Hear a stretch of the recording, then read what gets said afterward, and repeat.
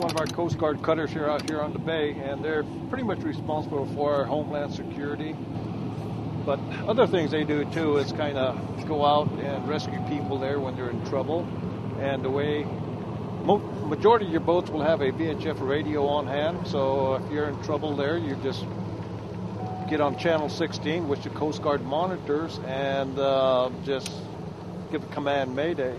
Mayday, Mayday, Mayday, and they'll answer you and ask you to go to 22A, and they'll ask you what your predicament is, what your Mayday is all about. So at that time, there you want to go ahead there and have, make sure you have your uh, coordinates ready, your lat and long, your location there. You want, want to let them know what your injury is, uh, the type of boat you have, color of boat you have there, number of people on board, and so. Uh, those are some of the things they're going to be asking. So that's a good way to be prepared when they do ask you.